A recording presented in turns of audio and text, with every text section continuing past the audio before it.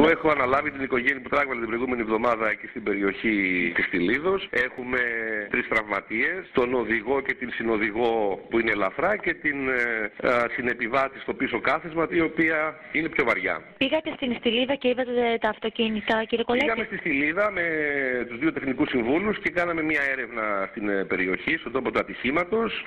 Ε, και εκείνο το οποίο διαπιστώσαμε ήταν ότι την πλευρά του ε, αυτοκινήτου του αντίδικου, ας το πούμε έτσι, ε, υπήρχαν τέσσερα στόπ, κάθετα και ένα οριζόντια. Και αυτά τα οποία παραβίασε το αυτοκίνητο, παραβίασε τέσσερα στόπ.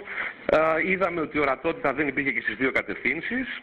Και είδαμε επίση ότι τα όρια ταχύτητος με ταμπέλες ήταν 50 χιλιόμετρα την ώρα για το άλλο αυτοκίνητο και 60 χιλιόμετρα την ώρα για μας. Ε, η πελάτη σας νοσηλεύεται στο νοσοκομείο. Ε, Πώς ακριβώς είναι και θα χρειαστεί μια σειρά από επεμβάσεις όπως έχουμε ενημερωθεί; Έτσι ακριβώς είναι.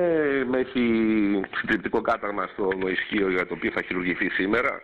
Έχει σπάσει το χέρι της το οποίο θα δούμε σε δεύτερο χρόνο θα χειρουργηθεί και έχει σπάσει τα πλευρά της. Να μεταφέρω καταρχήν τα συλληπιτήρια της ε, οικογένειας Βαρούχα στην ε, οικογένεια της Εκλυπούση. Ε, ευχόμαστε ταχύ ανάρρωση και στην ε, οδηγό του άλλου αυτοκινήτου. Ψυχραιμία θα έλεγα, η προανάκριση θα προχωρήσει. Εσείς πώς σκοπεύετε να κινηθείτε από εδώ και πέρα; Αυτή τη στιγμή δεν έχουμε σκοπό να κάνουμε κάτι, διότι προέχουν η αποκατάσταση των τραυματισμών των ανθρώπων οι οποίοι τραυματίστηκαν. Το μόνο που έχουμε να κάνουμε είναι να διορίσουμε τους τεχνικούς μας συμβούλους και επίσημα και στη συνέχεια να προχωρήσουμε στο απορίσματα τα οποία πρέπει να έχουμε. Mm. Αγωγές, αποζημίωσης και όλα αυτά θα ξεκινήσουν πολύ αργότερα.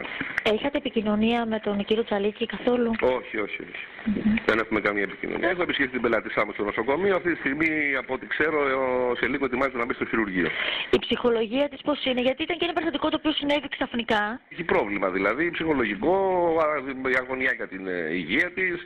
Δεν είναι και λίγο να έχεις σπάσει πλευρά, να έχεις σπάσει χέρια, ε, να έχεις σπάσει το ισχύο, ας πούμε. Το πιο επικίνδυνο είναι το ισχύο και τα πλευρά, ας πούμε. Mm. Έτσι είναι η ψυχολογική της κατάστασης είναι πάρα πολύ κακή. Αλλά είναι κοντά της ε, ο σύζυγός της, ο παιδί της, συγγενή της.